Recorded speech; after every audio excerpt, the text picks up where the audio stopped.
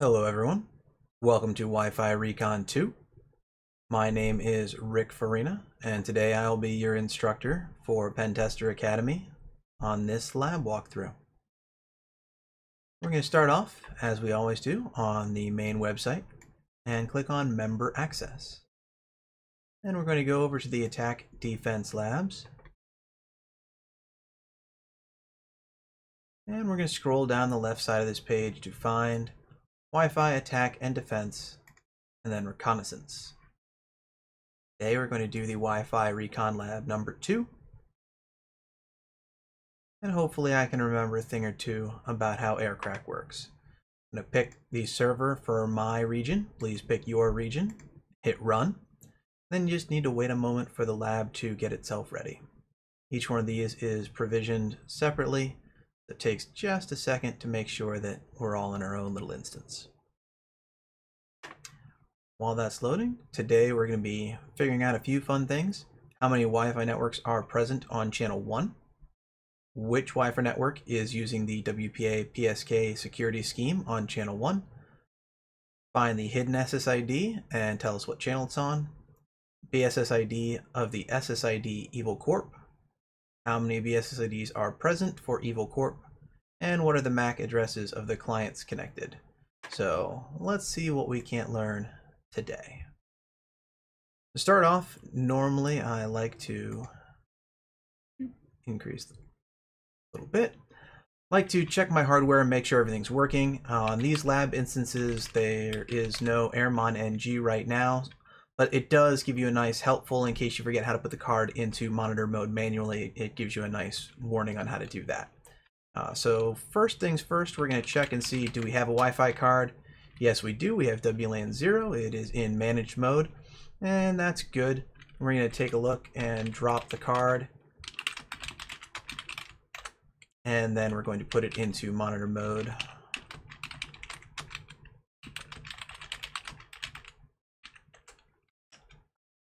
And then we're going to set it back up. Now we have a device in monitor mode. We can double check and confirm. You saw before it was in mode managed and now it is in mode monitor. So ready to go, ready to have a little bit of fun. Uh, first things first, Airodump NG is the tool of choice for these kinds of things usually. And today we're going to run pretty heavily through Airodump. And I think it's really important to discuss the, the help function. This is where you learn basically everything about how a tool works. And if you've never typed dash dash help, um, start now. It's definitely the only way to remember most of this stuff. I like to use long form flags to help remember things, but uh, just referring to the help is really the, the magical way to do it. So looking at our first question, how many Wi-Fi networks are present on channel 1? We're going to do it nice, real simple. Airodump NG channel 1, WLAN 0. Okay, this is going to put the card onto one channel, and it's going to start sniffing. And our goal is to figure out how many Wi-Fi networks are here. So being a fairly impatient person, it's been six seconds. Looks like three, one, two, three. Access points are listed at the top. Clients are connected at the bottom. Uh, so we're just gonna hope that I'm right. We'll move over here to verify flags. And how many are present on channel 1? The answer is 3. Looks like that's the answer we're looking for, so we are good to go. We will move on to our second question, which is which Wi-Fi network is using WPA PSK? Now there's two ways to see that. Uh, number one, you can just kind of look at this. Uh, so we're we're asked about channel one WPA PSK. We can see right here encryption. This one's WPA, TKIP pre-shared key. This one's open. This one's WPA2, CCMP, PSK. We were asked how many were using WPA1, and uh, that's that's this guy here. So let's look at one more way to do that, however. I think it's really important to do these kind of filters as well.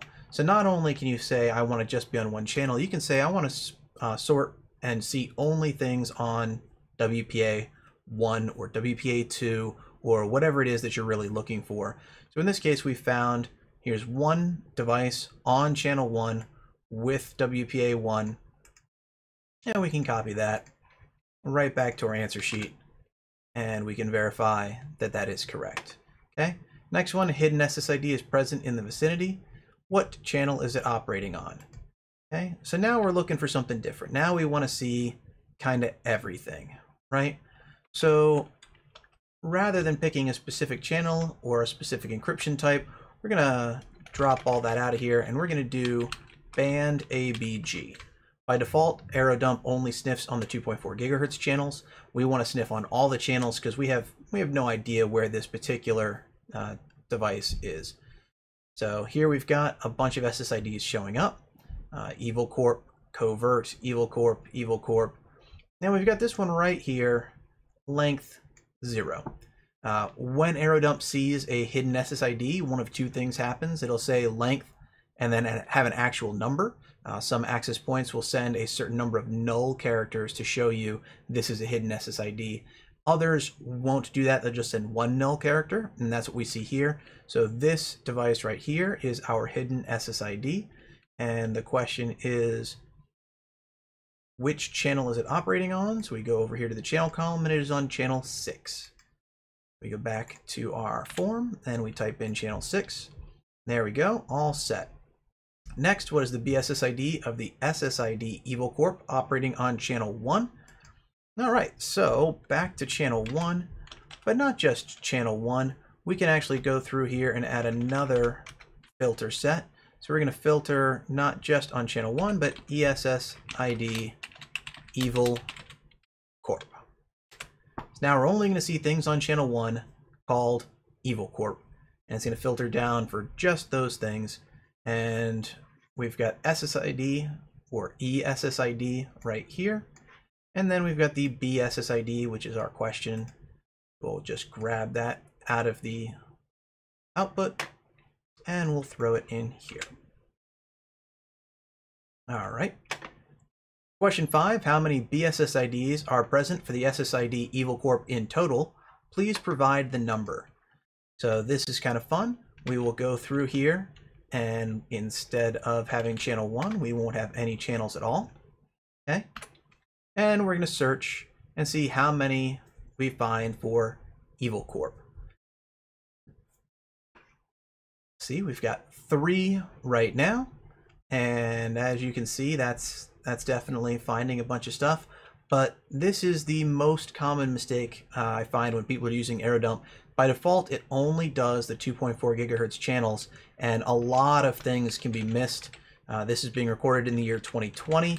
Uh, even if it was 1999, you would still find that 802.11a is actually a thing, and it's really helpful to find everything on all of the channels. It does take a tiny bit longer to scan a lot more channels, but you'll find a lot of stuff, especially 802.11ac and things like that, that are only in 5 gigahertz, are just not going to be visible if you're not scanning all of those channels.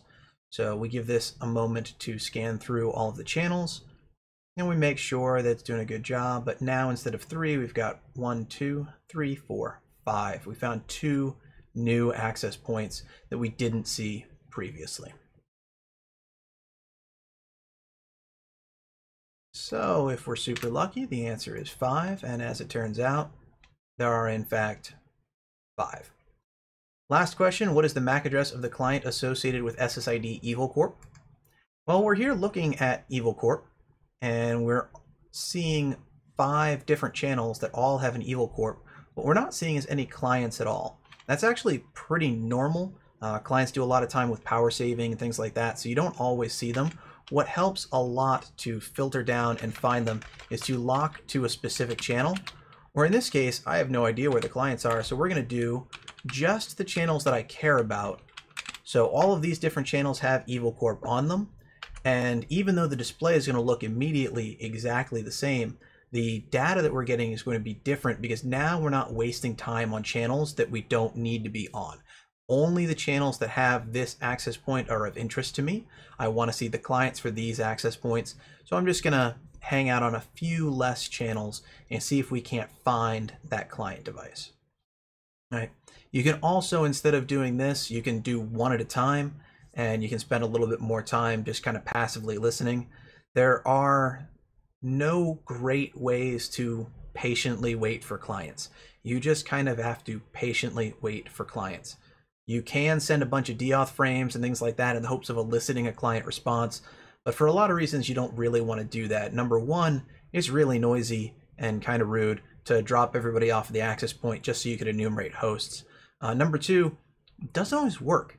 Uh, you get a lot of these phones and things like that that go into battery saving mode, power saving modes that are very, very aggressive, and you won't actually get anything from them because they'll be asleep and they won't get the deauth packet. So they'll more or less just ignore it. Uh, so patience tends to be your best virtue here. And here we find here is a client probing for Evil Corp. Not just probing, but he is successfully connected to a BSSID of D2A4 and that looks suspiciously like this one right here. So this is our client that we're looking for. We go back here. What is the MAC address of the client associated with Evil Corp? It is that. And with that, we have found all of our things for today. So I hope that you learned something. I hope that uh, you'll use the Airodump help feature. And I hope that you've got some basic flag sets of really helpful things to sort on and, and things like that. So remember, if you didn't test it yourself, it doesn't work. And I will see you next time. Thank you.